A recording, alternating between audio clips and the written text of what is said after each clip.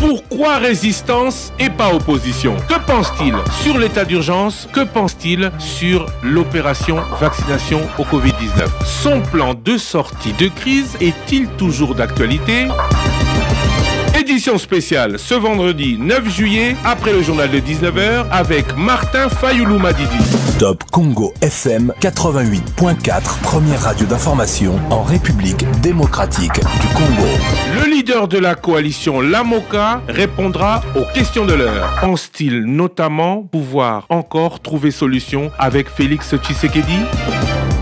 Top Congo FM 88.4, première radio d'information en République démocratique du Congo. Président élu, résistance plutôt qu'opposition pour parler du Congo. État d'urgence, vaccination anti-Covid, coalition Lamouka, tribalisme aussi. Monsieur Martin Fayoulou, bonjour. Bonjour. Comment vous définissez-vous aujourd'hui? Mais euh, je me définis très simplement comme le peuple congolais me définit. Je suis le président élu de la RDC. J'ai été élu président de la République à l'élection présidentielle du 30 décembre 2018. C'était il y a trois ans, en trois ans ou depuis trois ans. Vous n'êtes toujours pas, vous n'avez toujours pas ce qu'on disait pour euh, Étienne Tshisekedi à l'époque, l'impérium. Est-ce que euh, vous ne pensez pas plutôt aux prochaines élections qu'à euh, cette euh, élection présidentielle que vous dites voler? Tout à fait, vous avez raison. Je pense à l'élection de 2023. Vous savez, quand vous quittez une élection, tout de suite après, le lendemain, vous préparez la prochaine. Et je suis dans cet état d'esprit. Vous parlez de l'impérium. Effectivement, je n'ai pas d'impérium. Et vous savez pourquoi euh, parce que les ennemis de la République ont voulu que ce soit ainsi, parce que ces pays doivent être recolonisés. On a besoin des Congolaises et des Congolais qui n'ont pas de personnalité, qui n'ont pas de compétences avérées pour se jouer du Congo. Mais le peuple congolais est averti. Le peuple congolais aujourd'hui aguerri et il ne laissera plus faire. Donc, c'est comme ça que j'ai euh, présenté la proposition de sortie des crises. Et vous le savez très bien. Cette proposition de sortie des crises, dès que nous avons terminé l'élection, on a fait la proclamation. Le 8 février 2019, j'ai fait la proposition de sortie des crises à l'Union africaine. J'ai réitéré la même proposition le 8 février 2020 et le 6 février 2021 à l'Union africaine. Je voyageais partout, à l'intérieur du pays, à l'extérieur du pays, avec cette proposition. Personne ne vous a écouté? Personne ne m'a écouté, mais le peuple congolais m'a écouté. Et c'est comme ça que j'amène petit à petit le peuple congolais à, aux élections euh, de 2023. On va revenir sur votre proposition de sortie de crise. Euh, vous dites que certains, je suppose étrangers, veulent à la tête de ce pays des gens un peu moins instruits peut-être. Enfin, je, ne veux pas, euh, je ne peux, je suis pas en mesure de répéter tout ce que vous venez de dire. Mais vous, qui en savez plus que les autres, qu'avez-vous fait alors qu'en 2018 on parlait beaucoup d'organisation des élections? On va arriver sur la réforme de la CENI euh, actuelle. Qu'avez-vous fait à l'époque pour que on ne puisse pas vous voler cette élection? Aujourd'hui, Félix Tshisekedi peut dire je n'ai pas triché, j'ai été élu, moi-même ayant recueilli les chiffres, euh, je pense avoir gagné. Est-ce que vous, vous avez ou vous êtes en mesure de prouver, de démontrer le contraire ah Bien sûr, euh, Christian Loussakweno, pour euh, vos auditeurs et vos téléspectateurs, à la fin de cette émission, je vais vous sortir des procès-verbaux ici pour plus de 13 millions de voix. Vous allez être témoin et vous pouvez les filmer. OK? Mais ça a été démontré. Nous avons amené des procès-verbaux à la Cour constitutionnelle. Mes avocats les ont amenés. Vous dites qu'est-ce que nous avons fait pour que euh, l'élection ne soit pas volée? Mais nous avons fait ce que le peuple congolais a dit. Le peuple congolais nous a dit, s'il vous plaît, beau trahir, bissoter, ne nous trahissez pas. C'est que nous voulons de vous que vous ayez un candidat commun. Et nous allons soutenir ces candidats communs. Et nous l'avons eu, ces candidats communs. Et rappelez-vous la coalition La que les changements s'appellent aujourd'hui Martin Fayoulou. Rappelez-vous, nous avons eu la coalition La Mais il y a euh, des gens qui ont pensé autrement et qui ont décidé euh, de euh, tuer cette coalition. Mais heureusement que le peuple n'est pas tué parce que la coalition, la Mouka, la Mouka, c'est un état d'esprit, c'est le peuple congolais, c'est le peuple qui l'a voulu et nous continuons. Donc nous avons eu cette coalition et nous sommes allés aux élections et nous avons gagné. Et nous avons des preuves. Et nous avons amené des preuves à la Cour constitutionnelle, des PV à nous et c'était à la Cour constitutionnelle d'amener les PV que nous avons recueillis, les PV euh, des bureaux de vote, les procès verbaux des bureaux de vote que la Cour suprême, la Cour constitutionnelle devait avoir. Et la Cour, qu'est-ce qu'elle devait faire? Elle devait confronter les PV que nous avons présentés avec ces PV. Mais le juge Corneille Wassenda était très clair que la partie donc euh, de euh, celui qui réclame qu'il a été élu a amené des procès-verbaux. Il fallait que l'autre partie demande un temps pour vérifier ces procès et la Cour n'a pas fait, il n'y a pas de justice. C'est ça le problème. Mais demain, nous voulons qu'il y ait justice dans ces pays. La coalition Lamouka, puisque vous en parlez, à la coalition Lamouka. Il y en a qui aujourd'hui, euh, puisque la coalition Lamouka, il, il le rappelle, n'avait que pour but de prendre pour exercer le pouvoir. Il y en a qui ont rejoint Félix Tshisekedi. Est-ce qu'ils n'avaient pas les mêmes résultats que vous? Est-ce que eux, euh, à la différence avec vous, ne sont pas passés à autre chose, euh, ne sont pas plus en phase avec la réalité? Ben, Vous avez répondu presque à, votre question.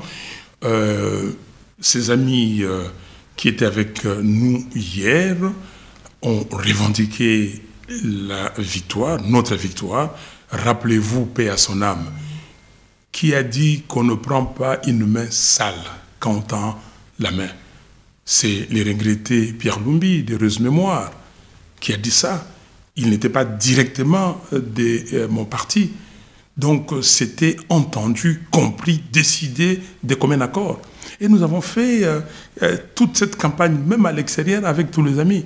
Mais maintenant, quand, c'est pour ça que je parle des néo-colonisés, nous revenons encore. Le 30 juin vient de passer et le monde a dit que l'histoire de notre pays s'écrira dans ces pays. Et aujourd'hui, il y a des gens qui viennent vous dire, écoutez, faites ceci, faites cela, et vous acceptez.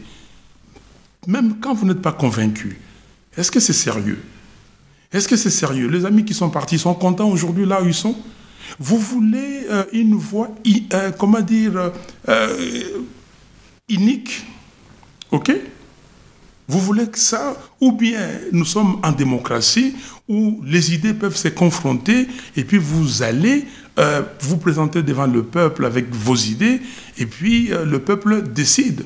Ceux qui sont partis pour la création de l'union sacrée, je ne sais pas pourquoi ils sont partis. Est-ce qu'ils ont été motivés pour le bien-être de la population? Est-ce qu'ils ont été motivés pour l'avancement de ces pays, le développement de ces pays? Est-ce qu'ils ont été motivés par un État organisé, un État euh, fonctionnel, ou ils ont été motivés par autre chose? Ils ont, ils, ont, ils ont dit qu'ils ont été motivés par le fait que la coalition la, la, Mouka avait pour but de changer la gouvernance dans ce pays et qu'ils en avaient l'occasion. Vous en avez vous-même euh, émis, euh, puisque vous parlez tout à l'heure de votre proposition de sortie de crise, vous avez dit j'ai G. G. Vous avez donc seul émis une proposition de crise, c'est eux qui le disent. Euh, ils ne vous, dans une proposition de crise dans laquelle euh, schéma il y a de partage du pouvoir, vous prenez législative et les réformes, euh, Félix Tshisekedi et, le FCC gardaient l'exécutif. Ils ont fait comme vous. Si pour vous ça n'a pas marché, pour eux, ils espèrent que ça marchera. Est-ce que on vous pouvez leur reprocher d'avoir fait comme vous et d'avoir eu un autre résultat que vous aujourd'hui? Christian Lusakon, je vous le dis, les GG n'existent pas. Et euh, on peut arriver à GG, mais il y a témoin. Nous avons été à Bruxelles le 21, le 22 et le 23 mars 2019 avec les amis sud-africains qui nous ont unis dans un premier temps à Pretoria, où nous avons commencé à produire euh, la coalition de la. Donc nous étions ensemble. Et ces jours-là, donc 21, 22, 23, nous avons imaginé cette proposition de sortie des crises. Avec Moïse Katumbi, avec Jean-Pierre Bemba ben, Tout à fait. Et euh, Et vous savez, cette proposition de crise a été imaginée avec les Sud-Africains. Mais pourquoi dans votre proposition de crise, dont vous avez le document ici, il n'est pas marqué coalition Mlamouka, il est marqué, il est marqué Martin Fayoulou. Il, il, vous le reproche. Bon, ouais, ils me peuvent reprocher parce qu'il faut trouver une excuse. Et ce n'est pas une excuse. Ça a été fait comme ça parce qu'il y a certains présidents africains qui voulaient être médiateurs. Ils voulaient, euh, comment dire, venir pour arranger ces, euh, ces dossiers-là. Le premier document, vous pouvez demander à Mbungani. Jean-Jacques Mbungani, le ministre de la Santé. Le premier document, c'est Mbungani qui l'a. On devait l'incorporer dans euh, le document que nous avons signé le 27 avril 2019. Demandez à Mbungani. Avec euh, tous ces points-là, après discussion, il faut créer une institution dénommée au Conseil national des réformes institutionnelles. Nous l'avons fait ensemble. Mais ces présidents-là, nous ont dit qu'écoutez, nous, nous allons venir, mais c'est une affaire entre vous et l'autre qui est là. Donc vous deux, et nous voulons que ce soit, et ils nous ont donné un conseil. Mais l'affaire, et quand j'ai remis ces documents pour la première fois à Madame euh, Harriet Baldwin, quand j'ai remis au ministre des Affaires étrangères britannique pour l'Afrique, à l'ambassade britannique, j'étais avec qui? J'étais avec Madame Bazaïba et j'étais avec Adolphe Mouzitou on représentait tous euh, la Mouka. Écoutez. Euh, Madame Bazaïba qui euh, est, restée proche de vous, au-delà ou après Moïse Katumbi et Jean-Pierre Bemba, est-ce que c'était la position de son parti? Ou vous, il n'y avait pas déjà dichotomie entre elle et la, la direction du MLC Madame Bazaïba était ici, comme Pierre Lumbi était ici. Pierre Lumbi devait être là, il n'a pas été. Euh, nous faisions des réunions dans cette salle ici. Tous les soirs, on était en discussion avec les amis. Tous les soirs, on était en discussion avec les amis, on se mettait d'accord. Il n'y a rien qui n'a été fait que les amis étaient d'accord. Un jour, je vais vous sortir tous les documents. La première ou le premier document de sortie de crise est élaboré par Pierre Lumbi.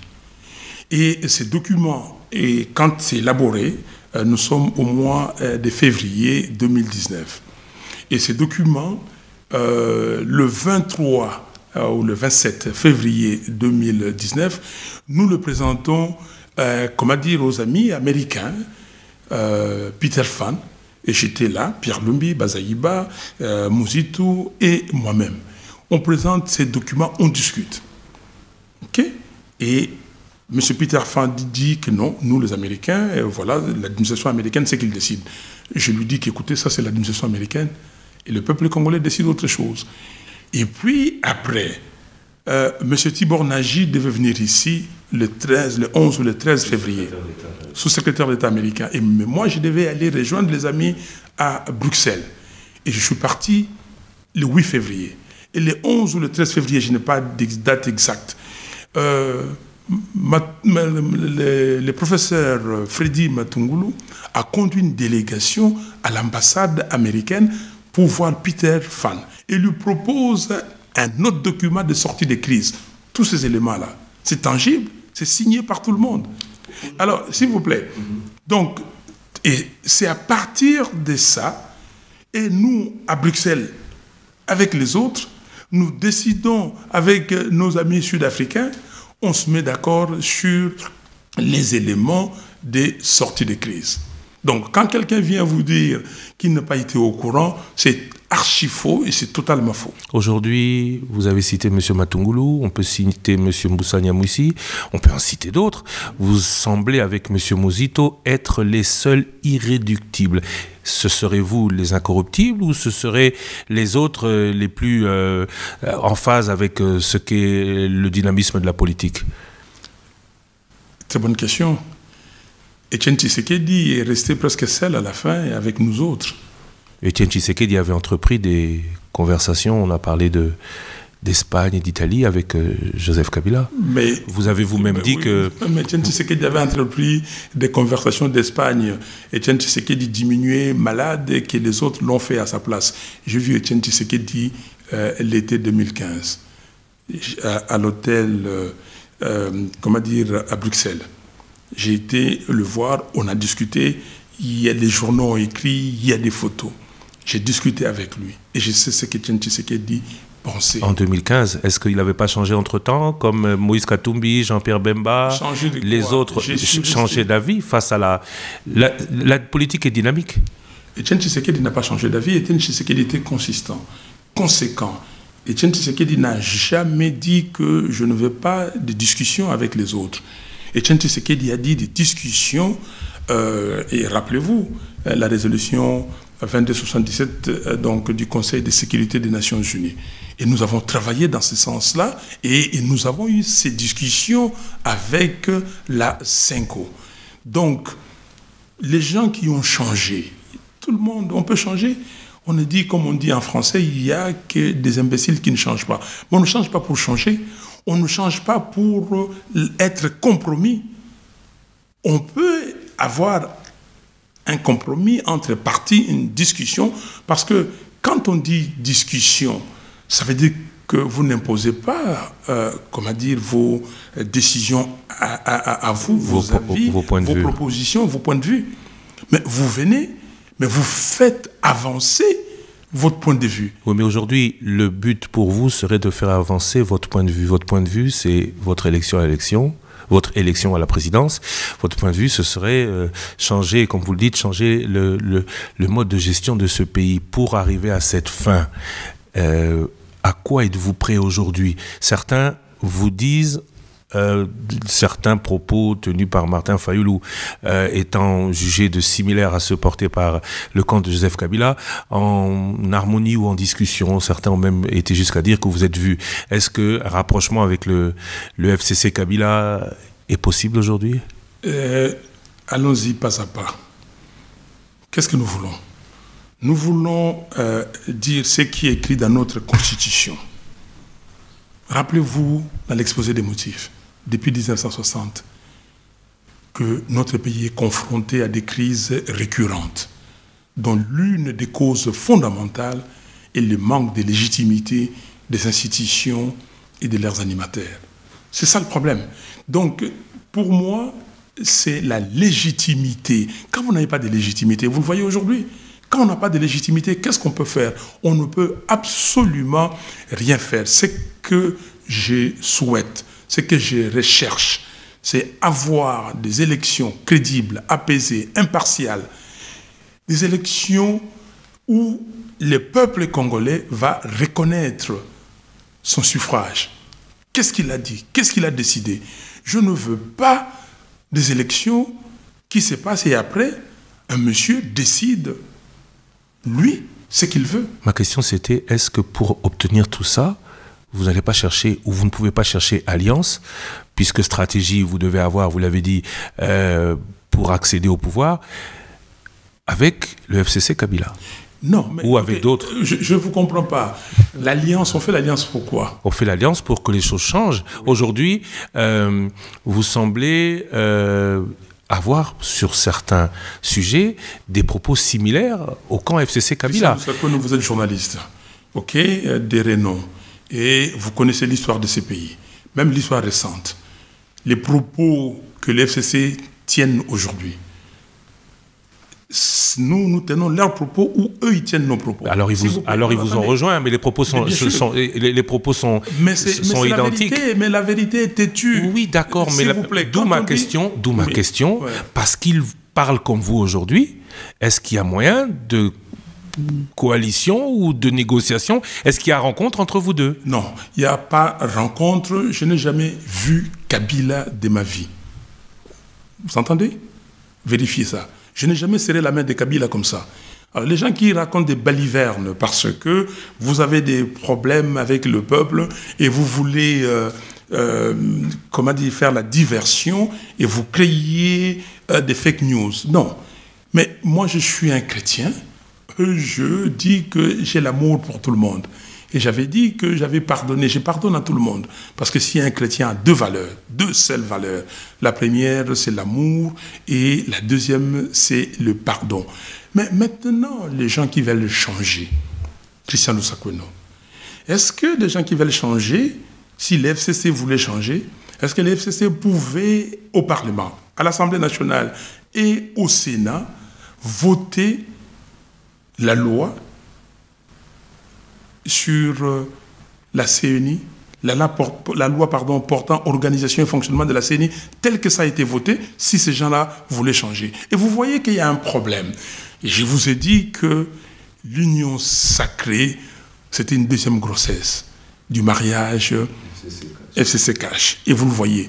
Mais ce mariage est allé loin, qui nous a donné des jumeaux.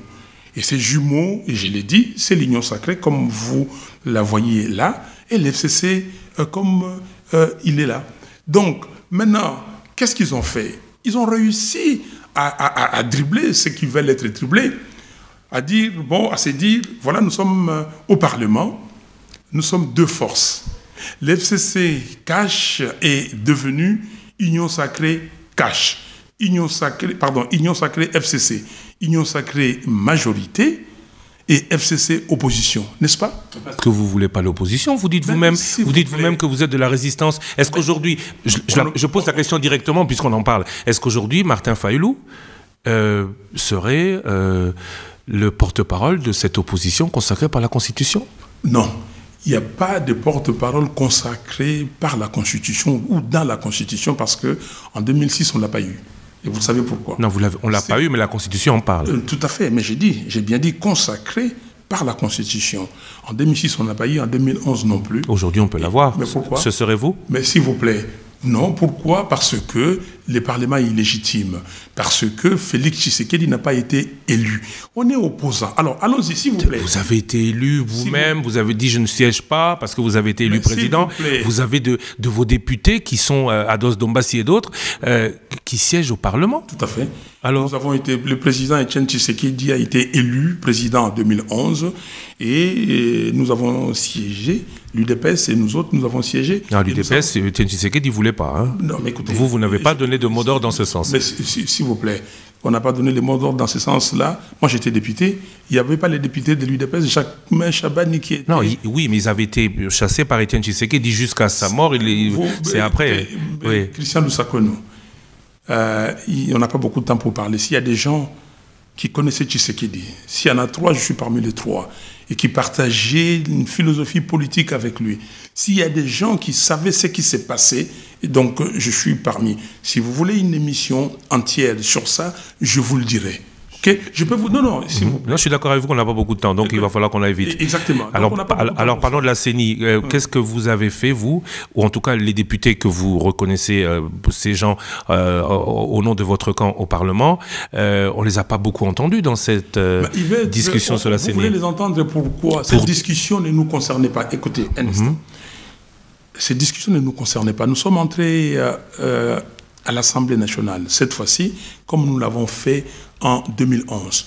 La MOUCA, nous tous, tous les groupes de la MOUCA, nous nous sommes entendus d'y aller, parce que ceux-là, on ne devait pas avoir euh, simplement 100 députés, tout la MOUCA, on devait avoir plus, majorité. Mais vous savez que les chiffres ont été fabriqués. Mais il fallait entrer pour discuter, OK Et continuer la discussion. Et nous faire une proposition de sortie de crise. C'est comme ça que nous avons dit. La loi portant organisation et fonctionnement de la CENI doit être consensuelle. Et même toutes les réformes doivent être consensuelles. Nous avons signé tous, lisez les déclarations de la MOCA, signées par tous, surtout par les quatre. Consensuelles, consensuelles. Alors, et c'est comme ça que nous avons proposé, nous avons fait cette proposition. Et nous avons donné à tout le monde. Nous avons vu tout le monde. Hein? Ça, c'est notre proposition pour la réforme de la loi sur la CNI. Nous avons fait aussi la proposition sur la loi électorale. La proposition des deux, pas la proposition des quatre. Puisque la, écoutez, arrêtez-moi, Christian, cette affaire de deux ou des quatre. Oui, mais bon. Mais les amis ont rejoint euh, l'Union sacrée. Ils sont dans euh, ce qu'ils appellent cette majorité-là. Qu'est-ce que vous voulez que je fasse? La proposition de deux, ce n'est pas la proposition des quatre. Qu'est-ce que vous voulez que je fasse? J'entends dans votre émission que je suis régulièrement. L'émission de débat. Voilà souvent vous dites que non, Lutundu l'a proposé. Mais Lutundu était membre de la MOUCA à cette époque. Il était avec vous. Et nous étions ensemble. Oui, d'accord. Cette, loi, c'était une loi personnelle. Donc c'est la, vôtre, la vôtre Non, c'est une loi personnelle, Lutundu là. Est-ce que vous demandez aux gens de son groupe s'ils l'ont vu? Il n'a jamais présenté cette loi aux membres de la MOUCA. Alors, oui, mais à l'époque, vous ne l'aviez pas condamné, vous avez rien mais non, on a, personne n'a rien dit. C'était sa loi personnelle en tant que député. Le député est libre de faire ce qu'il veut. C'était sa loi personnelle, ce n'est pas la loi de l'AMOCA. Donc aujourd'hui, euh, de cette loi, vous ne voulez pas, vous voulez moins de politique. Mais est-ce que, ah. comme, vous le, comme le disent beaucoup, c'est possible de faire moins de politique euh, dans une affaire euh, autant politique? On ne dit pas une affaire politique, c'est une affaire politique, mais nous disons que la CENI doit être totalement dépolitisée. Dépolitiser, ça veut dire quoi? Ça veut dire, vous avez le bureau de la CENI qui est composé des membres de la société civile. Vous avez les organisations religieuses, les organisations des femmes, les organisations qui font l'éducation civique électorale. Et, vous avez toutes ces organisations, les mouvements citoyens, qui peuvent bien faire l'affaire. Mais dose des politiques, si vous voulez, politique, c'est les contrôles, c'est-à-dire voir ce qui se passe. Et ces politiques-là, vous pouvez les mettre au niveau de la plénière. Ils n'ont aucune décision à prendre, ils n'ont aucune influence, mais ils viennent poser des questions. C'est cette loi que nous avons proposée. Aujourd'hui. Pas, au bureau, mais à la plénière. Pas au bureau, mais à la plénière. Aujourd'hui, vous prenez un monsieur, même si c'est un évêque, vous le mettez président du bureau. Et vous connaissez les prérogatives du président de la CENI aujourd'hui. Il n'a pas beaucoup de choses à faire. Il n'a pas un mot à dire. Il est simplement porte-parole, presque. Porte-parole. C'est le vice-président qui a, et c'était Bassengezi, qui était le patron de la CENI. Nanga, c'était regarder l'argent, distribuer par-ci, par-là, et euh, faire, euh, comment dire, le porte-parole là. Mais ce n'était pas grand-chose. Et aujourd'hui, ils ont subdivisé, divisé cette fonction de vice-président en deux. Donc, ils se les donnent. Qu'est-ce que le monsieur ou la dame qui sera président va faire? Nous, nous disons, enlevez la politique, mettez les gens qui veulent qu'on aille aux élections crédibles, apaisées, impartiales, transparentes, et euh, c'est là que le peuple choisisse. Mais dites-moi, pourquoi on veut à tout prix mettre ces gens au bureau de la CNI. Pourquoi on veut à tout prix que le président soit qui vienne de son groupe? Pourquoi? Pour tricher. On veut préparer la prochaine fraude dès à présent. Et nous nous disons non, ça ne passera pas. Et je l'ai dit le 30 juin. Ça ne passera pas. Ça ne passera pas. Ça veut dire vous allez faire, ça veut dire vous allez faire quoi Vous allez voir ce que nous allons faire. Aujourd'hui, vous dites que vous, vous, préparez les élections 2023, mais ces élections seront de toute évidence, en tout cas au regard de ce que le président vient de promulguer, euh, alors que les animateurs sont en train d'être choisis, seront organisés par cette CENI. Vous irez à ces élections Vous savez ce qu'ils sont en train de faire? Ils sont en train euh, de nous retarder, de discuter, et discutailler même pour que à la fin ils disent voilà, on n'a pas le temps, on doit dérailler. OK? On doit dépasser les délais. Mais les délais, on ne peut pas dépasser parce que c'est constitutionnel. L'article 73 de la Constitution dit clairement que l'élection présidentielle, le scrutin présidentiel est convoqué... Tous les cinq ans est convoqué par... Non, non, pas tous les cinq ans. Le scrutin présidentiel, ça c'est l'article 70. Mhm. L'article 73 dit que le scrutin présidentiel est convoqué par la commission... Euh, euh, euh, voilà, la commission mhm. électorale nationale indépendante 90 jours avant, la fin du mandat. Fin du mandat. Mhm. Donc c'est constitutionnel. On ne peut pas aller au-delà du 23 octobre. Oui mais, la jurisprudence vous a montré Il n'y a pas de jurisprudence. S'il vous plaît. La pratique. non. les élections de 2016 ont eu lieu en 2018. Mais oui, mais je vous ai dit non? Mhm. J'ai commencé par dire qu'ils sont en train de nous distraire pour qu'après on dise, bon, on s'assoit autour d'une table, comme on a fait en 2016, et pour postposer les élections. Nous disons non. Euh, nous disons non. Les 23 octobre, il faut à tout prix avoir les élections, ou en tout cas l'élection présidentielle, parce que le 23 janvier 2024... Il faut un nouveau président. Il faut un nouveau président.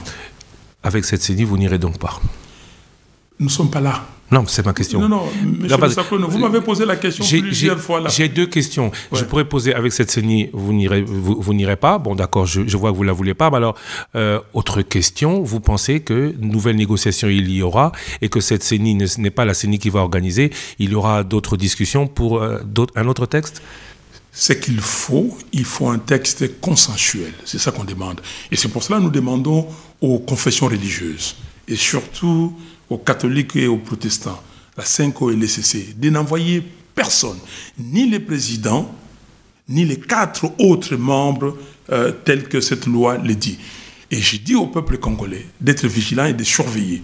Si l'Église catholique, si l'Église protestante, si ces deux églises et les autres confessions religieuses, si toutes les confessions religieuses sont proches du peuple et entendent ce que le peuple dit, ils ne peuvent pas cautionner cette forfaiture. Ces coups d'État, comme l'avait dit le révérend Senga de l'ECC. On ne peut pas cautionner ces coups d'État. Mais la question qu'on doit se poser, pourquoi on veut tricher? Pourquoi on veut que ces hommes et ces femmes soient là Pourquoi on ne veut pas la neutralité? La CENI doit être totalement neutre. Si l'Église catholique et l'Église protestante, principalement avec les autres confessions religieuses, désignent et euh, suivent le courant de cette euh, réforme, euh, vous leur en tiendrez rigueur? Bien sûr. Nous disons non, parce qu'ils ont fait des déclarations. L'Église catholique vient de faire une déclaration récemment, comme l'ECC. Euh, qu'est-ce qui a changé pour que eux ils changent, ou elles, les églises, qu'elles changent leur position? Pourquoi? Qu'est-ce qui a changé? Donc il faut être avec le peuple. Christian de Sakweno, nous sommes des passagers. Nous devons passer. Personne n'est éternel, sauf Dieu le Tout-Puissant. Et nous devons voir l'avenir de notre pays. Lumumba a dit que aujourd'hui, l'indépendance est proclamée. Nous allons construire un pays. Et l'hymne national le dit, un pays plus beau qu'avant. Aujourd'hui, où sommes-nous?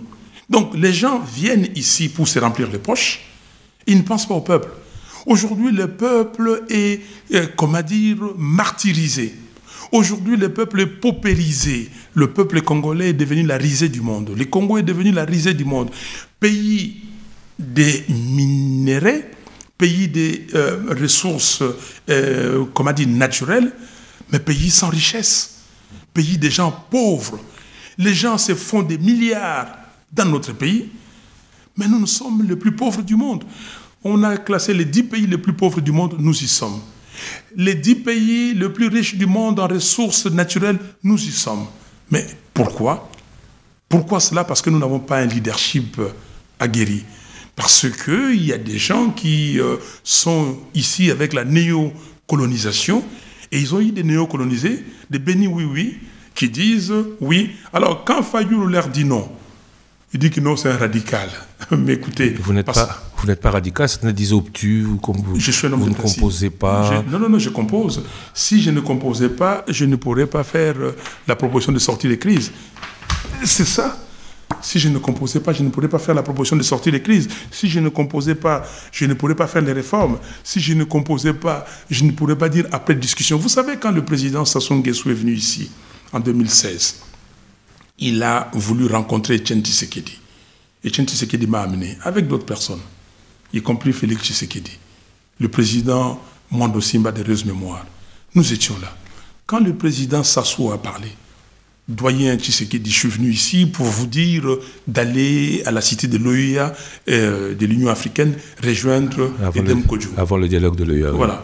Et Edem, le président Tshisekedi, avec sa force, a dit Écoutez, monsieur le président, vous êtes Bantou? Il dit Oui. Et chez nous, les Bantous, si on recuse les médiateurs, qu'est-ce qu'il fait? Il se retire. Et il m'a passé la parole.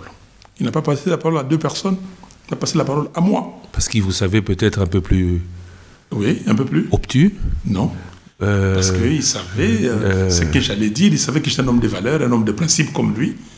OK Et j'ai dit simplement que, Son Excellence, Monsieur le Président, si vous et votre frère, le président Eduardo dos Santos, si vous voulez qu'il y ait dialogue, le vrai, vous pouvez le faire. Et vous avez vu la suite. La suite, les évêques ont traversé à Brazzaville et nous avons eu les dialogues. L'accord de, les vrais dialogues. L'accord de la Cinco. Euh, vous êtes, euh, vous n'êtes pas de l'opposition, vous êtes de la résistance, c'est ça? Vous confirmez? Écoutez, je ne sais pas qu'est-ce que vous voulez dire l'opposition? L'opposition, quand Non, vous allez, attendez, opposition prénom- républicaine. Prénom, Oui. prénom, écoutez, mais l'opposition républicaine, vous en savez quelque chose. Alors, prenons, disons, un pays euh, qui a fait les élections. Vous allez au Sénégal, pays africain ou au Ghana. Vous allez en Angleterre. Ok, c'est quoi l'opposition? C'est lui qui est arrivé deuxième à l'élection présidentielle ou Ah, parlementaire. oui, qui- parlementaire. Oui, oui, non, non, non. Parlementaire, hein, opposition, c'est parlementaire surtout. Non, On peut être pré- élu président et, et- et, euh, être de la famille de l'opposition. Mais, mais bien sûr, mais ici, dites-moi, les voix des Fayoulou, total de voix, par rapport à, ces gens nommés. Lusakwenou, vous faites une radio qui est ultra populaire, oui. Ben, je suis, comme je vous ai dit tout à l'heure, que disent vos auditeurs?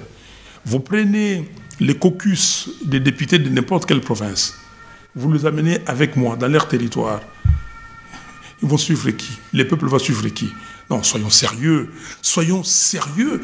Ne dites pas parce que vous- les gens vont répéter comme des perroquets euh, des choses et on le répète. Non, ces gens-là, qui est parti à Béni avant tout le monde Je suis parti à Béni, je suis resté trois jours, le 24, le 25, le 26 décembre 2019, pour voir mon peuple de Béni tout le monde avait fui Béni. Et j'ai réconforté ces peuples. J'ai passé les réveillons de la fête des de la nativité avec mon peuple. Parce que je suis populaire. Parce que ces gens-là m'ont voté. Donc, euh, ne venez pas me dire ici qu'il y a une assemblée et qu'il y a des gens qui ont décidé ceci. Et euh, si vous prenez mes 62,11%, 62,11%, qui l'a eu ou qui les a eu ici Même si, parce que j'ai parlé euh, de euh, l'opposition dans un système normal. Chez eux là-bas, c'est lui qui arrive euh, deuxième, c'est lui qui prend euh, l'opposition. Mais ici, on n'a pas eu des élections normales. On ne sait pas qui est euh, premier, qui est deuxième. OK? D'après la CENI. La CENI, les jeunes gens de la CENI ont fait fuiter les résultats sortis du serveur de la CENI. C'est exactement le même pourcentage que la Cinco, c'est à peu près le même pourcentage que nous, la MOCA que nous avons. Donc aujourd'hui, donc aujourd'hui, vous n'êtes pas de l'opposition, vous êtes de la résistance. Parce que il- M. Félix Tshisekedi n'a pas gagné l'élection, si vous voulez être clair. Parce que là, entre guillemets, ce qu'on appelle la majorité union sacrée qui est à l'Assemblée, n'a pas gagné l'élection. Cette majorité n'est pas sortie de l'élection de 2018. Une résistance qui siège au Parlement. Où est le problème? Nous étions résistants avec Tchétchen Tshisekedi, nous siégions au Parlement. J'y étais moi-même. Étienne Tshisekedi était contre, je le rappelle. Alors, je ne sais pas si de la résistance que vous êtes, vous, on, on- on peut commenter l'actualité en République démocratique du Congo. Êtes-vous pour ou contre euh, l'état d'urgence? Totalement contre l'état d'urgence. Euh, L'état d'urgence a été décrété pour euh, aider monsieur, euh, je dis, les gens qui ont fait avancer l'accord cadre d'Addis Abeba, l'accord cadre signé le 24 février 2013 à Addis Abeba. On dit accord cadre pour la sécurité, la paix en République démocratique du Congo et dans la région. Donc, dans cet accord, il y a des engagements pour la RDC, il y a des engagements pour euh, la région, il y a des engagements pour la communauté internationale. Mais il n'y a pas d'engagement pour euh, le Rwanda, le Burundi et l'Ouganda. ils, sont, cet ils, sont de, la région. C'est les pays de la région. Mais non, mais pourquoi Et les Congo et les quoi? Non, mais le Congo, c'est le pays touché. La Mais- région. et- euh, non, euh, non, non, non. oui. Quand on dit que euh, on doit euh, organiser les institutions démocratiques au Congo, et on n'a pas, il n'y a pas de nécessité d'organiser des institutions démocratiques au Rwanda et en Ouganda et au Burundi. Mais vous savez, laissez-moi venir là où je voulais euh, venir. Parce que quand vous regardez l'engagement numéro 4, je crois, au niveau de la région, c'est que nous devons renforcer la coopération entre pays de la région, y compris la gestion des ressources naturelles, la gestion des ressources naturelles du Congo. C'est de ça. Et cet accord signé en 2013 n'a pas été exécuté. Et c'est maintenant qu'on exécute l'accord. Parce que Kabila ne pouvait pas exécuter cet accord, cet accord était déséquilibré. Pourquoi il ne pouvait pas l'exécuter Puisqu'il a, puisqu'il a, signé? Mais il était déséquilibré. Il a compris à la fin que c'était déséquilibré quand nous nous avons parlé. Dès qu'on a signé l'accord, s'il vous plaît. Donc vous reconnaissez à Joseph Kabila le sentiment de ne pas laisser son pays à ce moment-là il, a, il a eu peur. À ce moment-là. S'il vous plaît, mhm. euh, beaucoup de choses. Là, vous me poussez à parler. Oui, je veux. c'est le but, je vous faire parler. Nous avons, nous tous, quand on était, nous tous là de l'opposition, on était contre cet accord, y compris l'UDPS. Et Kabila a eu peur de signer cet accord parce qu'on allait dire, ah, ah, il favorise le Rwanda comme d'habitude, ainsi de suite, il a eu peur. Et maintenant, bon, il y a quelqu'un qui vient, parce qu'on l'a mis là-bas, on lui dit, de signer, euh, d'exécuter l'accord autrement. Et il va signer euh, les accords ma question, c'était l'état commerciaux. Ma, ma question, c'était l'état d'urgence. bien sûr, je vous dis que donc l'état d'urgence, c'est pour signer les accords. C'est pour restreindre les libertés des individus. C'est pour euh, faire exécuter l'accord d'Addis Abeba. Et on a signé. Comment conciliez-vous le fait que le pays ou la région ou les régions soient en état d'urgence? Les provinces de l'Itourie et les, la province, les provinces de l'Itourie et du Nord Kivu soient en état d'urgence et qu'on ait, qu'on ait signé les accords pour ces provinces. Vous justifiez ça? Nous faisons la guerre avec qui? Contre qui? Pas contre les... non, non, on ne signe pas les accords, euh, les accords civils en état d'urgence. L'état d'urgence, on fait la guerre contre qui? Les frontières sont-elles fermées? Oui ou non? Nous sommes en état d'urgence. L'état d'urgence, quelles sont les juridictions qui sont là actuellement en train de traiter les affaires civiles des citoyens, des citoyennes congolais, congolaises? Militaires et policières. Ils peuvent tout faire. L'état civil est, fait par les militaires aujourd'hui. Quand un enfant naît, on lui donne une attestation de naissance. Allez voir. Donc, on a fait passer euh, en douce l'accord. Non, ça ne peut pas marcher. Cet accord-là est nul et de nul effet. Donc le Congo n'a pas vocation, je l'ai dit encore le 30 juin, euh, de produire les matières premières à l'état brut et de les exporter pour que ce soit raffiné ou ailleurs. Le Congo a besoin aujourd'hui de voies de communication maritimes, fluviales. Mais il va les, il va les obtenir comment? Ben, Il va les obtenir en travaillant. Vous savez les richesses que nous avons? Nous avons 23 000 milliards. Ça fait 23 trillions. Ça fait, ça, fait, 61 ans que nous les avons. Nous avons, nous savons. Et, je vous ai dit ici, le, le pays a un problème de l'élite. Le pays a un problème de leadership. Un leadership responsable, un leadership compétent, un leadership qui a des valeurs. Pas de béni oui-oui, pas de néocolonisés. Si vous avez à chaque fois des néocolonisés tel vient et vous dit faites ceci, vous dites oui. Ah, donc, si aujourd'hui, je, je, répète, Kisangani, c'est un pôle pour tout l'Est de la République, vous pouvez construire des routes jusqu'à Walikale, jusqu'à Goma, jusqu'à Beni et tout ça. Kinshasa, pôle la voie navigable. Non, on a compris. Vous avez compris C'est des choses, qu'on connaît. Est-ce que euh, on... connaît, on ne le fait pas. Pourquoi? J'ai fait cette affaire. Je vous dis, les 100 jours de Martin Fayoulou. J'ai fait un programme de 100 jours. Mais qu'est-ce que nous disons pour répondre à votre question sur l'état des sièges? Nous disons les 10 mesures du premier mois de ma présidence. Je veux être le président qui protège les Congolais qui fait régner la paix et la sécurité au Congo et qui s'investit pour la prospérité des Congolais.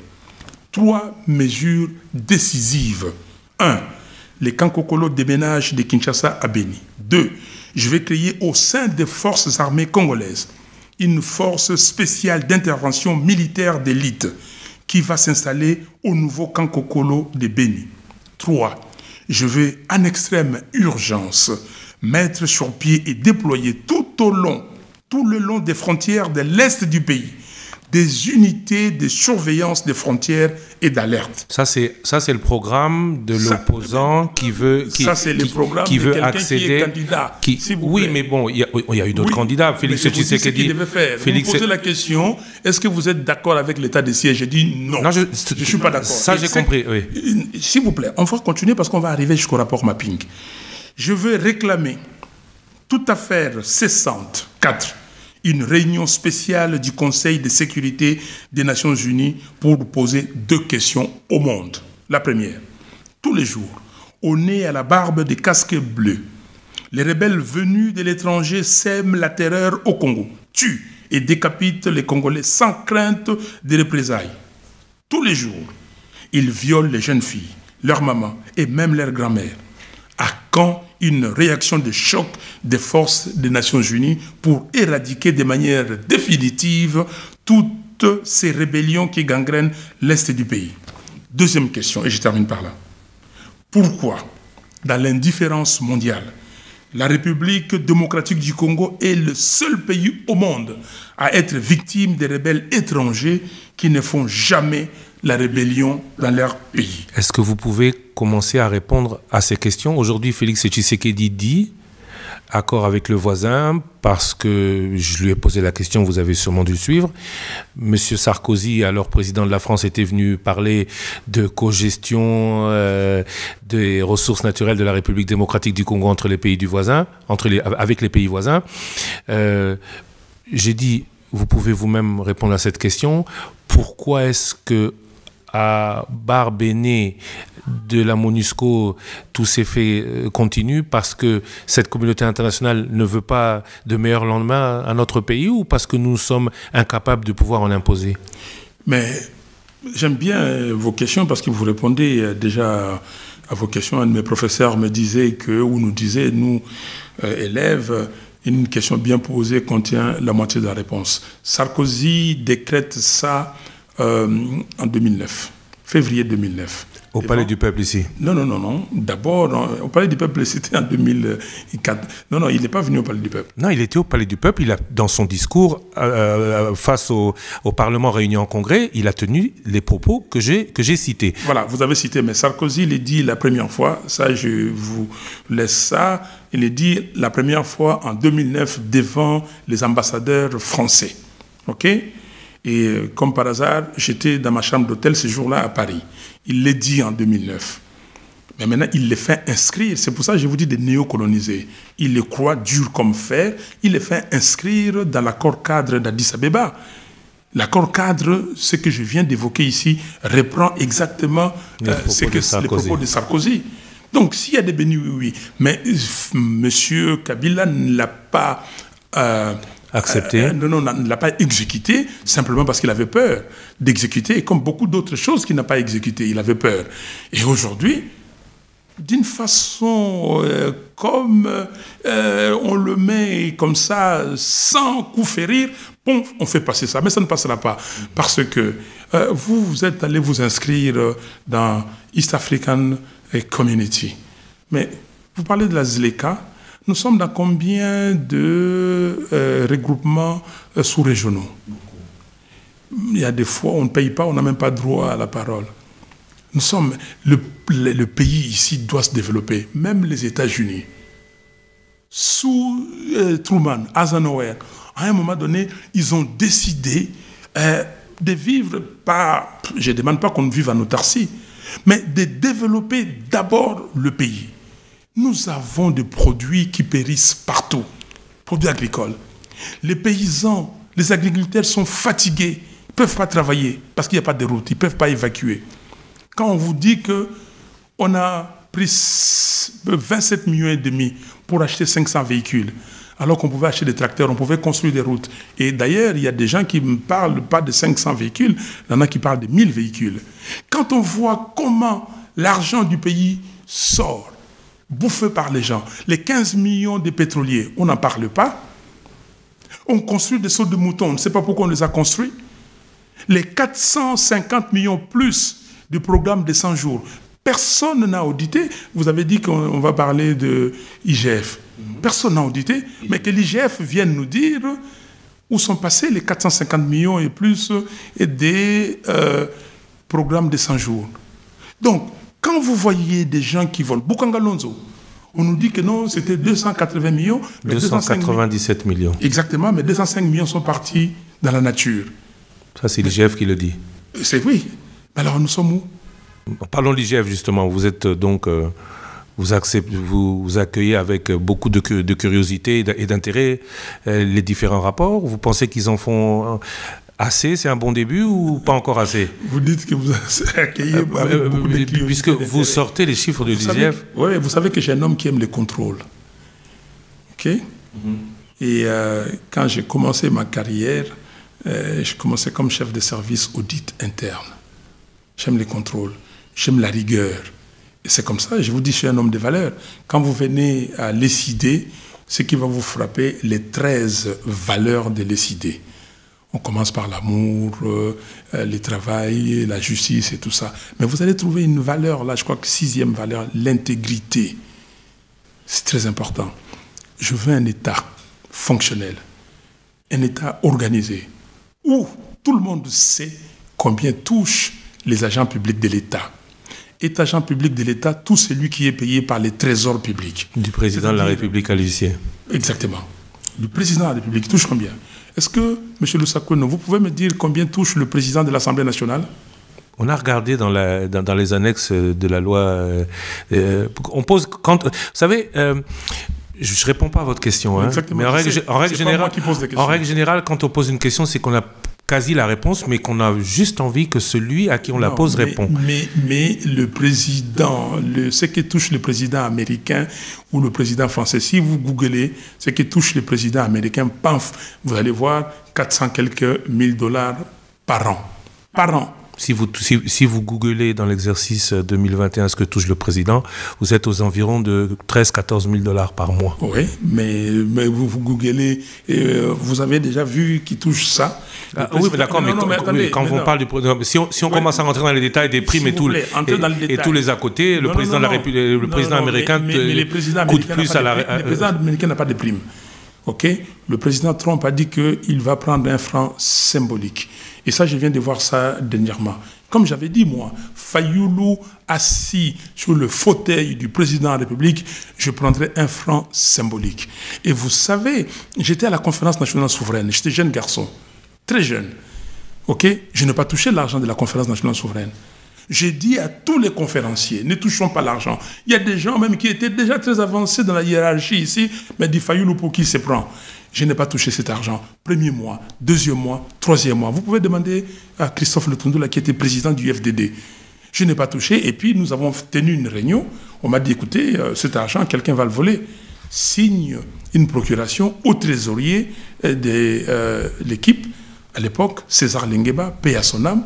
Et César Lingeba a touché cet argent pour les comptes de l'association Forum pour la démocratie et le développement. Je n'ai jamais touché. Donc, ça veut dire que ça ne date pas d'aujourd'hui. Question de principe, il faut les contrôles. Vous, parlez, euh, vous allez googler, vous avez trouvé 13-14 000. Vous avez googlé pour savoir combien touche le président de l'Assemblée nationale? Combien touche le président du Sénat? Nous devons savoir. Et vous savez, si quelqu'un touche 14 000 dollars, donc vous pouvez imaginer le train de vie de la personne. Il est, le train de vie, c'est le train de vie de la présidence de la République, il est chef de l'État. parce que je parlais du président de la République. Oui, non, non, mais je parle des institutions. Mhm. ne singularisez pas. Je dis un État organisé, fonctionnel, où on sait combien touche chaque agent public de l'État. C'est cet État. Aujourd'hui, nous ne savons pas. Un État où, quand on commande, Hein, j'étais député, ok? J'ai député. Je n'ai jamais eu un crédit, une voiture à l'Assemblée nationale. Je n'ai pas eu. Pourquoi?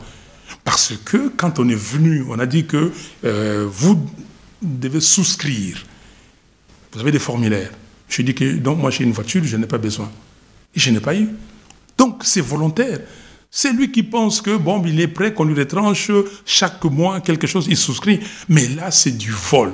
On fait du vol et on ferme les yeux. Et ce qui est grave, même des Occidentaux qui sont ici, ils ne parlent pas de ça. Mais ça, c'est une violation flagrante euh, des droits de l'homme. Parce que le peuple congolais est privé de ses ressources. Et vous parlez de la démocratie, vous parlez de la lutte contre la corruption. Vous dites que si la lutte contre la corruption euh, ne prend pas le pas, nous n'allons rien faire. Et vous voyez des gens qui sont là aujourd'hui en train de piller le pays, de saigner le pays. Les finances publiques, les deniers publics sont saignés. Et on dit, ah non, on continue. Monsieur Gilles Alingueté de l'IGF euh, a tenu les quasi mêmes propos que vous. Euh, ma question, donc, puisqu'on parle de l'IGF, utile, pas utile Vous êtes satisfait de cette toute organisation organisation qui fait les contrôles est utile. L'IGF n'est pas institué par M. Gilles Alingueté ou par euh, Tartampion Kingandi, Fulani ou, ou Songolo ou Mpakala. L'IGF est institué, c'est une institution de la République qui doit être là comme la Cour des comptes, comme l'Assemblée nationale, comme toutes les autres Est-ce institutions qu'elle est en train, telle qu'elle fonctionne aujourd'hui, est-ce que vous pensez qu'elle est en train de changer les comportements des uns et des autres? Mais je vais voir les résultats. Jugeons aux résultats. Jugeons que, bon, ben voilà, on a sorti, on nous a parlé de 57 millions de dollars sur euh, le programme de euh, 100 jours, les achats de maisons ou je ne sais quoi.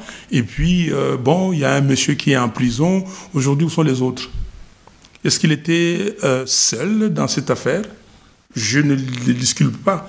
J'ai fait une déclaration à l'époque, avril euh, 2020, pour dire que les juges doivent travailler, parce qu'ils disent la loi au nom du peuple congolais. Qu'est-ce qu'ils nous ont dit? Alors maintenant, les 57 millions qu'on a identifiés, ça a retrouvé euh, les caisses De du. Trésor public. C'est ça que nous devons savoir. Mais moi, j'ai suivi euh, le procès. Hein, le procès, j'ai entendu plusieurs fois M. Kamere dire que ce n'est pas mon procès. Ce n'est pas mon procès. C'est le procès du régime. IGF, euh, a priori positif alors. Je dis que les institutions de la République, mises en place pour les contrôles, il faut qu'elles fassent leur travail. Mais il faut produire les résultats. Toute institution doit produire les résultats. Donc j'attends qu'on me dise qu'est-ce qu'on a fait des Bukangalonzo, 205 millions. J'attends qu'on me dise qu'est-ce qu'on a fait des 15 millions de pétroliers et ce qui a suivi après, à part les pétroliers. Vous devez savoir que je suis un pétrolier. Moi, je viens de ce monde-là. Je vais savoir euh, les 500 véhicules, euh, ça procède de quoi? Je veux savoir euh, la- le programme de 100 jours, les plus de 450 millions de dollars. Qu'est-ce qu'on en a fait? Quel est le rapport Je veux savoir le près d'un milliard de dollars dépensés par M. Nanga et Basengezi à la CENI. Qu'est-ce qu'on a fait de ces 450, euh, de ces près d'un milliard de dollars Je veux le savoir. Et là, vous reviendrez me poser la question. Je vous dirai, tiens, satisfait ou bien euh, euh, négatif. Vous êtes vacciné contre la Covid-19, vous avez pris votre première dose. Pour la curiosité, vous prendrez votre deuxième dose quand? Sachant que depuis le 11 juillet ou à partir du 11 juillet, il n'y a, plus- plus d'AstraZeneca. Non, écoutez. euh, Non, ça c'est une ça, ça- Christian, ça, c'est la, c'est la non, première mais- question. Non, non, la première question, c'est pas ça. Non, c'est ma, Non, ma. Non, votre première question, moi je vais vous revenir. Oui, Je vais revenir sur oui. les faits. Je suis factuel. Je vous ai appelé pour dire Mhm. Je me suis vacciné. Je me suis fait vacciner. Je veux qu'on fasse une émission avec vous pour que j'explique au peuple congolais Mhm. Pourquoi pourquoi je me suis fait vacciner. Vous vous rappelez? Je me rappelle bien. je vous ai dit que j'ai contacté à plusieurs reprises le docteur Mouyembe. Je l'appelle au téléphone, il n'a pas pris. J'ai contacté à plusieurs reprises le médecin directeur, le, le président, je ne sais pas quel est le titre, de l'Ordre national des médecins. Il vous a pas pris. Je vous ai dit que j'ai appelé euh, le directeur ou la directrice des PEV, Programme élargi de vaccination. Madame Moutamba, elle vous a pas pris. Mais je l'ai eu il y a euh, dix jours à peu près maintenant. J'ai appelé plusieurs fois. Et, mais je les appelais avant que j'aille me faire vacciner pour leur dire qu'écoutez, je ne suis pas spécialiste. J'avais fait il y, a, il y a trois mois, on m'avait posé cette question. Je dis que cette question, nous devons nous référer tous aux spécialistes. Aux je ne suis pas scientifique. J'ai lu comme tout le monde, je vois ce qui s'est dit, ce qui se passe, j'entends ce qui s'est dit, mais nous devons être responsables. expliquons au peuple congolais c'est quoi les vaccins? Je suis là, regardez ça. Tout ça, c'est des vaccins. OK? Tout ça, c'est fait depuis que je suis enfant. Et surtout que j'ai entendu sur les antennes euh, euh, de votre station de radio. Top Congo, encore une fois. Oui, que euh, il y avait le programme, donc la campagne sur la poliomyélite, les vaccins contre la poliomyélite. Comment vous allez expliquer aux mamans qui sont là, aux parents, que vous allez vacciner vos enfants contre la polio si déjà on dit que les vaccins contre la Covid-19 fait problème? Vaccin, vaccin j'ai fait la campagne pour discuter et arriver à dire au peuple congolais, voici ce qu'on met sur la table. Ce n'est pas obligatoire, mais voici les avantages du vaccin. Et si vous avez des inconvénients, voici les inconvénients euh, du vaccin. On fait l'analyse qu'on fait, l'analyse comparée, avantages et coûts et inconvénients. Et donc, les gens les Congolaises et les Congolais, en toute liberté, décident. C'est ma campagne. Et c'est ce que je veux. Mais vous avez des gens irresponsables qui vous disent autre chose. J'ai donc vous êtes pour la vous êtes vacciné je donc suis pour, la, vaccination. Je suis pour la vaccination. Comment est-ce que vous comprenez ceux qui doutent ou ceux qui disent même parce qu'on l'entend encore et on le voit dans la rue que cette maladie n'existe pas? Ben, Maintenant, et comment vous leur posez la question dans leur famille? Ils ont eu des cas ou pas? Sinon. Ils ont eu des cas. Si, si, pour les familles qui n'en ont pas eu. Mais ils ont vu des voisins, ils ont vu des gens. On sait que tel monsieur ou telle dame est décédé de la Covid-19. Ils le savent. Christian Sakono, le problème n'est pas à ce niveau-là. Le problème est au niveau de la responsabilité. Le peuple est peuple. Il a les droits de douter. Même aux États-Unis, il y a des gens qui doutent, vous le mhm, savez. Je sais. En France, en Europe, il y a des gens qui doutent. Partout. Partout. La vaccination n'est pas obligatoire. Exactement. Mais qu'est-ce que font ces États? En Afrique, les gens qui doutent. On m'a dit que les taux d'acceptation ici, au départ, étaient de 28 ou 38, 28%. Mais les taux d'acceptation au départ, donc la moyenne est plus élevée que la moyenne africaine, ici au départ. Mais il euh, importe aux responsables de dire qu'est-ce que les vaccins et pourquoi? Et quand à chaque fois, je fais des expériences, moi j'ai expliqué à mes amis, ils sont partis se faire vacciner. Vous savez, après moi, combien de gens se sont fait vacciner? Quand ils ont vu que Fayoulou s'est fait vacciner en bon, combien d'appels j'ai eu? Et malheureusement qu'on n'a pas fait cette émission. Mais combien d'appels j'ai eu? J'étais malheureusement Covid à, cette époque-là. On a dit que vous étiez disposé, mais vous-même, vous ne pouviez pas. Vous vous rappelez? Je me rappelle très bien. Donc, vous savez combien de gens?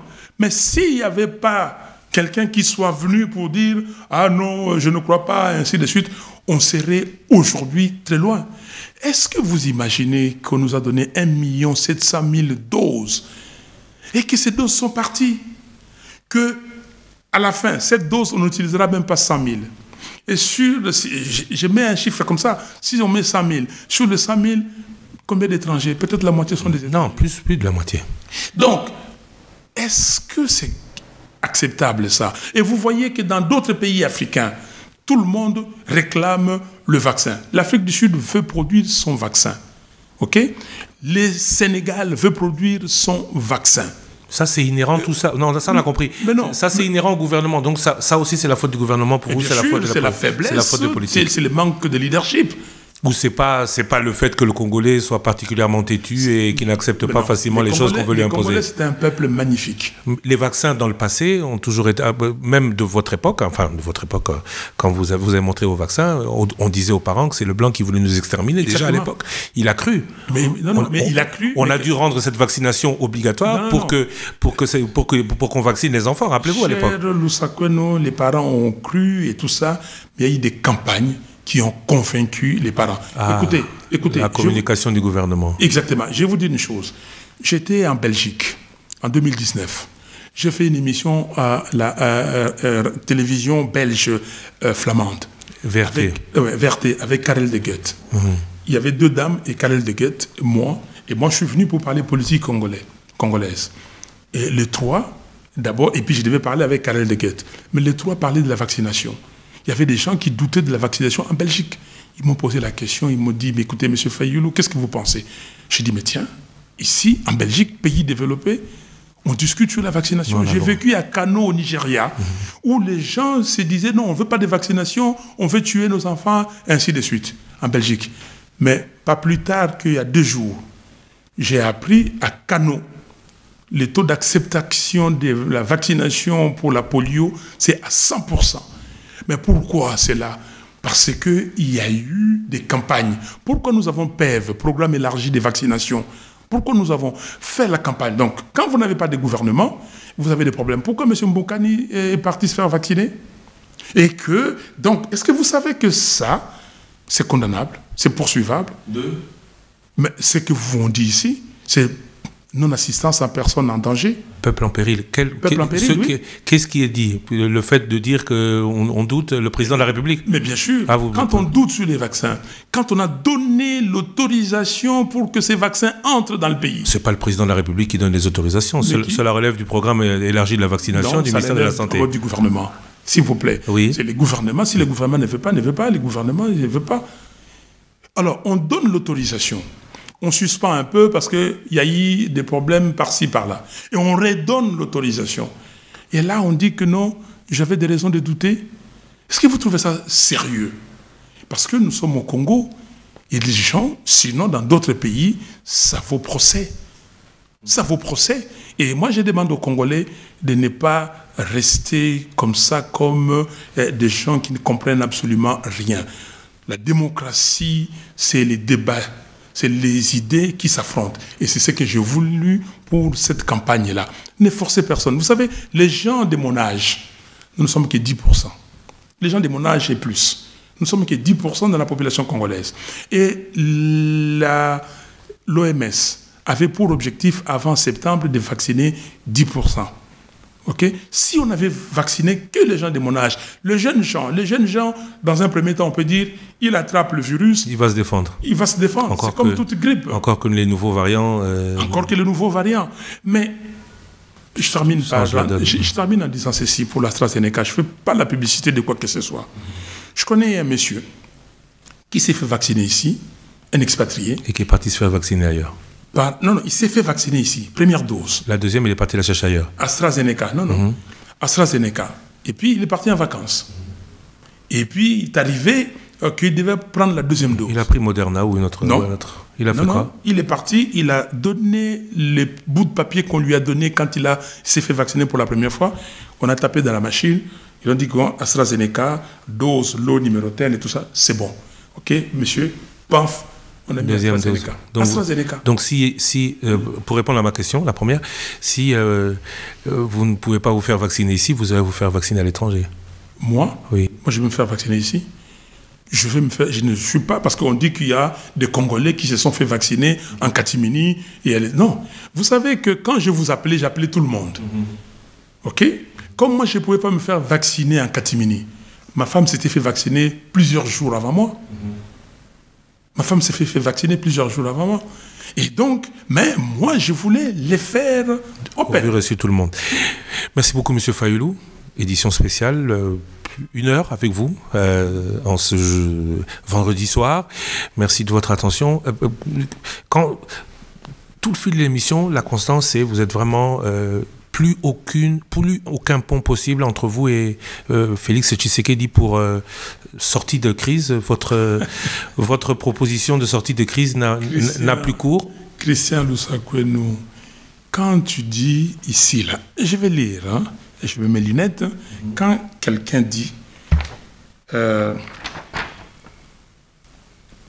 pour ce faire, ma proposition de sortie de crise se décline de la manière suivante. Créer à l'issue des discussions organisées entre les parties prenantes. Une institution dénommée au Conseil national des réformes institutionnelles. Ça veut dire quoi? Nous avions eu ça. Mais écoutez, donnez-moi deux minutes.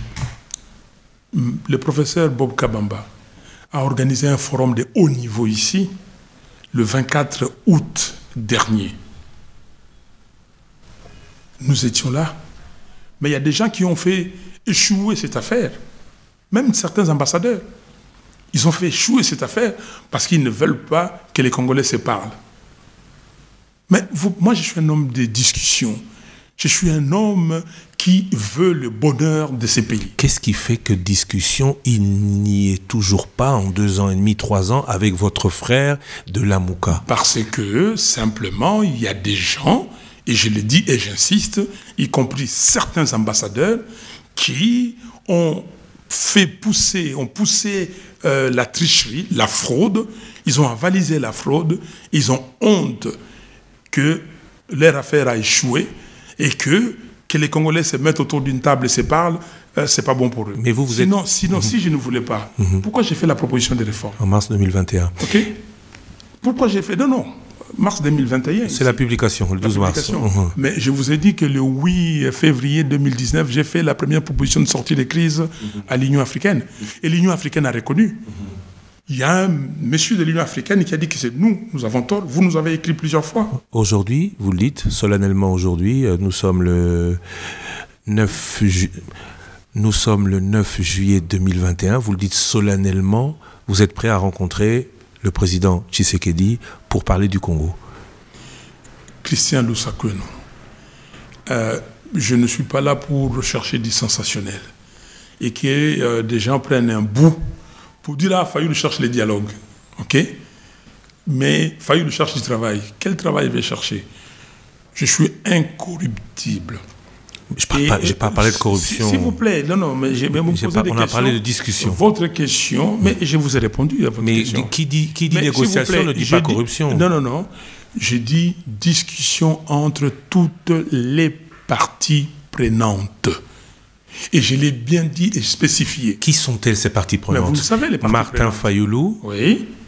euh, on va dire la coalition. Bon, Non, non, non, ça pose problème. Non, non, ça pose pas problème. Ça pose problème. Non, oui, mais la, la coalition, la Mouka, Le certains vous dire professeur- on en est, on n'en est pas. Le professeur Bob Kabamba, euh, je vais vous dire les Mhm. parties prenantes. Parce qu'on a discuté avec beaucoup de gens. Il avait invité qui? Je commence à vous appeler ça en ordre ou en désordre. Je vais arriver. Professeur Bob fin. Kabamba, qui est professeur à l'université de Liège, en Belgique. Exactement. Il a dit euh, Félix Tshisekedi, Joseph Kabila, ok? Et puis euh, Vital Kamere. Donc euh, c'est ça qu'il a dit. Donc son équipe. ce sera un peu compliqué aujourd'hui. Non, non, non. Quand il dit que Vital Kamere, Hmm. c'est pas Joseph Kabila qui va venir, c'est pas Félix Tshisekedi qui va venir, c'est pas, Ah. pas Martin. Les discussions commencent. Nous avons fait les discussions de la 5O. À trois Non, Trois non. seulement Te- Attendez, je vais Ah, arriver. Ah. Nous avons fait les discussions de la 5O. J'ai fait comme ça, vous voyez, j'ai continué. Ah. Nous avons fait les discussions de la 5O. Les discussions de la 5O, c'était des discussions entre Joseph Kabila et Etienne Tshisekedi. Mais c'est nous qui avons représenté les deux. Donc, j'ai terminé. Et là. De ces côtés-là, c'était euh, FCC Cash. De l'autre côté, il y a Jean-Pierre Bemba, Moïse Katumbi, Adolphe Moussitou, euh, Martin euh, euh, Fayoulou. OK? Donc, il y avait ces six, Sept. euh, euh, sept là. Ces sept-là, et on discutait à l'époque, voir, pourquoi pas Modeste Bahati. Parce que si... euh, Il était ni dans l'un ni dans l'autre voilà, à l'époque. Non, non, pourquoi oui, donc pourquoi pas euh, Modeste Bahati On a discuté. Euh, vous pouvez demander à Bahati. On a discuté. OK? Donc, ce sont les parties prenantes politiques. Donc, si vous mettez les parties prenantes, vous discutez, et nous allons avoir une solution Jusqu'aujourd'hui. jusqu'aujourd'hui. Non, non, mais la réunion a été convoquée, sauf Badi qui n'était pas là. Le prof Kabamba a convoqué euh, sous, euh, euh, le financement de l'Union européenne les forums de haut niveau. Mais il y a des ambassadeurs qui ont demandé aux autres de ne pas venir. OK? Mais nous, nous étions là. hein. Les gens de notre camp, la MOCA, dans son ensemble, étaient là. Mais on a dit à certaines personnes de ne pas venir. Il n'y a pas 36 solutions que les parties prenantes se rencontrent, discutent et trouvent une solution. C'est pour cela que j'ai dit la loi portant organisation et fonctionnement de la CNI doit être consensuelle. On doit retirer cette loi. Les partis doivent s'asseoir et dire qu'est-ce qu'il y a de bon dans la loi qui a été proposée par les, votée au Parlement? Qu'est-ce qu'il y a de bon chez la MOUCA Qu'est-ce qu'il y a de bon chez les autres? C'est tel ou c'est tel autre. Et nous allons, et c'est pour le bonheur du peuple congolais. Si des gens viennent ici pour se faire l'argent, de l'argent, si les gens viennent ici pour euh, euh, regarder leur situation personnelle, et ils prennent des décisions par rapport à ça, le peuple congolais ne suivra pas. Aujourd'hui, vous voyez ce qui se passe à Goma. Aujourd'hui, vous voyez la misère du peuple. Vous allez parler d'état, d'état de siège, on n'a pas beaucoup continué. Est-ce qu'on a arrêté les tueries La ville de Beni, avant, dans l'état normal, civil, ces tueurs ne sont jamais entrés au centre-ville. Aujourd'hui, ils sont au centre-ville. Qu'est-ce qui se passe? Les gouverneurs commencent à parler des prélèvements de taxes, commencent à parler des constructions des routes. L'état de siège, il va durer combien de temps? Est-ce pourquoi on n'a pas fermé les frontières pendant? Parce que l'état de siège a été décrété pour une période d'un mois, d'abord. Mais pourquoi pendant un mois, on n'a pas fermé les frontières, traqué tous ces gens-là pour dire, bon voilà, on a trouvé une solution. Vous allez dire que c'est une guerre asymétrique. Oui, si c'est asymétrique, vous fermez les frontières, vous rentrez dans les quartiers, vous, envoyez tous les militaires formés que le Congo a, vous les envoyez là-bas avec l'aide de la MONUSCO et même des partenaires étrangers pour éradiquer cela. Monsieur Martin Fayoulou, merci beaucoup d'avoir été avec nous. Si se termine cette édition spéciale, j'espère que les brebis euh, seront contentes euh, que le berger euh, leur ait aujourd'hui adressé la parole, parce que vous êtes très avare de parole. et nous espérons vous avoir très, très bientôt de nouveau, peut-être à l'occasion d'un nouveau rebondissement politique, puisque notre pays en compte beaucoup dans les ondes de Top Congo FM. Merci beaucoup. On parle quand il faut parler. On parle quand il faut parler. Et euh, on ne parle pas tout le temps. Euh, vos auditeurs, euh, merci à eux de me réclamer. Mais on n'a pas abordé un sujet qui me tenait à cœur. C'est le sujet sur le tribalisme. Le tribalisme. le tribalisme est devenu un problème dans ces pays. Vous savez, je suis né à Kinshasa, je suis quinois et je le revendique. La première fois que j'ai quitté le sol de Kinshasa. Euh, je ne parle pas de Mbanzangungu j'allais, euh, qui sent tout, c'est juste à côté. Mais la première fois que j'ai quitté le sol d'ici, euh, c'était pour aller en Europe étudier. Je ne connaissais pas, je ne connais pas. J'ai étudié avec les amis. Nous, c'était les quartiers. Vous êtes de quel quartier? Vous êtes de quelle école? Il n'y avait pas de tribu. Et vous savez, quand je voyais Etienne Tshisekedi, je l'ai rencontré. vous savez, j'ai dit, tout, et toi Il me disait, ah, où et toi Il me dit, mais Martin, continue. J'ai dit, oh, les là, tout. Donc, je ne peux pas comprendre qu'aujourd'hui on installe des milices tribales dans ce pays. Je ne peux pas comprendre qu'on devienne, des chefs de clans. Comme Mobutu euh, l'avait dit qu'il n'était pas, chef de clan. Aujourd'hui, c'est chef de clan. Clan financier et clan tribal, ce n'est pas les Congo. Les Congo n'a pas cette vocation. J'étais très content quand j'étais étudiant, quand les Congolais se voyaient, ah, moi, Sango Sangoboni. Ça, c'est limité là. Mais aujourd'hui, on parle beaucoup de tribalisme. Aujourd'hui, beaucoup de propos dans le chef de vos adversaires et même aussi dans le vôtre euh, sont tenus par euh, les militants des uns et des autres. Est-ce que euh, vous comprenez le silence des leaders qui ne se prononcent pas contre ce tribalisme? Mais non, mais les, mes militants ne parlent pas. Moi, je ne suis pas tribal. Les idées, je suis le président. Madame Marie-Jeanne Louaka est vice-présidente. Non, la question n'est pas des compositions des, partis politiques. mais les gens qui en parlent parce que, ou qui n'en parlent pas parce que les gens qui ont créé, vous créez une situation et euh, vous n'avez que les gens d'une tribu. Que voulez-vous que les gens fassent? Et quoi, vous n'avez que les gens d'une tribu? Mais vous le savez. Non, non justement, je ne sais pas. Non, non. S'il vous plaît, la, question... la milice tribale qu'on a amenée à Kinshasa et la milice tribale qu'on a transportée à Lubumbashi, c'est quoi cette milice tribale? Les gens qu'on a été euh, trouvés à Kingaboa en train d'être formés, vous n'en parlez pas? Mais les gens qui ont essayé de projeter, parce que c'est une projection, en psychologie ça s'appelle projection, qui a failli lutter tribal. Mais vous voulez que je vous cite 10 de mes amis intimes? Parce que j'ai commencé avec les partis, vous ne voulez pas. Mais les gens peuvent faire les recherches. Non, on a bien compris que, vous, que vous êtes congolais euh, dans l'âme. Mais est-ce que vous critiquez est-ce que vous condamnez ceux dans votre camp qui versent dans ce tribalisme? Il n'y a pas dans mon camp. Il y en a. il y en a. S'il vous plaît. non, il y en a. Il y en a. on ne s'en prend pas. Non, vous. S'il vous plaît. Vous, il y a des épiphénomènes. Il y a des épiphénomènes. Mais est-ce que vous les condamnez? Bien sûr, je les condamne. comment? Vous n'avez pas suivi dans mes meetings où j'ai dit, et j'ai même récité Tatabo, enfin, Ekolobo, pas Tata, Ekolobo, Moko, Mbokabo, Moko. Vous n'avez pas entendu Mais ce n'est pas d'aujourd'hui. depuis février 2019, je condamne, je condamnerai parce que le Congo n'a pas vocation à être tribal. Le Congo, c'est 2 345 000 kilomètres carrés. Le Congo, c'est toutes les tribus. Allez partout dans les musées, vous allez voir les tribus du Congo. Les Congos sont là. Donc, eh, les tribus euh, euh, congolaises sont là. Donc, je condamne cette affaire de tribalisme.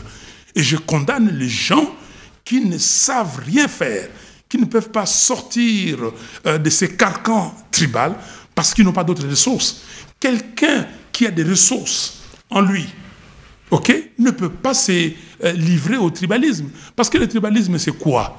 Ça veut dire que c'est un repli inutile, identitaire, inutile. On croit qu'on est protégé par euh, euh, les, gens en soi ou les siens. Christian de Sakweno, faites attention. Je dis toujours à mes amis qui sont du Congo central, je prends cet exemple-là. Si vous dites qu'il y a nous, nous les nœuds Congo, vous savez ce qui s'allait se passer? Allez à Matadi, mettez tous les nœuds Congo en réunion. Ils vont regarder qui est de la Lukaya, qui est du cataracte, qui est du bas-fleuve. Et puis, ah, et quand vous allez prendre ceux du bas-fleuve, ils vont regarder ainsi de suite. Arrêtez cette affaire-là. On nous a entraînés en 1960 sur cette affaire du tribalisme. Il y a eu des sécessions, il y a eu des exactions. Et je suis parti à Kikwit. J'ai vu des communautés. Je suis parti voir mes frères et sœurs. Et je l'ai dit, Louba, qui m'ont dit, mais président Fayoulou, qui vous, qui vous a dit qu'on a tué les Louba ici? Nous, sommes, nous avons voté pour vous. Nous, nous sommes ici à Kikwit, il y a trois vagues. La première vague, quand il y a eu les problèmes entre les Loua et les, Louba. 60. Deuxième vague, quand les diamants euh, s'est tari euh, là-bas et nous sommes venus ici. Troisième vague, avec le phénomène Kamona Sapo. Les boutiques que vous voyez là, c'est à nous. On va aller, quel est le tribalisme? Et j'ai demandé à la Monisco, qui a dit qu'on a tué mes frères et sœurs Louba à Kikwit. La MONUSCO est partie. Zéro loup a tué. Mais on a tué beaucoup de gens. Beaucoup de gens. Mais quelqu'un qui va dire que non, euh, je ne sais pas pourquoi on a tué ma communauté. Quelle communauté? On ne sait même pas pour qui cette communauté a, voté, simplement parce qu'ils sont de la même tribu que moi. Ça n'existait pas et ça, c'est très dangereux. Si on est partisan, si on est chef de clan, allez-y être chef de clan. OK? Mais moi, je suis le président élu de tous les Congolais et je travaille et je travaillerai pour tous les Congolais. Christian Lusakeno, élection en 2023, c'est constitutionnel. Il n'y a pas de glissement possible. Peuple congolais, je profite du micro du Top Congo pour vous dire que surveillez les religieux surveiller les religieux. Je vous le dis clairement, et les religieux m'entendent, je l'ai déjà discuté avec eux. Personne n'envoie un délégué à la CNI politisé. Personne. Surveillez tout le monde. Soyons prêts. Même avec euh, cette affaire des Covid, nous gérons avec l'affaire des Covid. Surveillons ça pour qu'on aille de l'avant. Ce qu'il nous faut aujourd'hui. Nous devons réclamer les rapports mapping.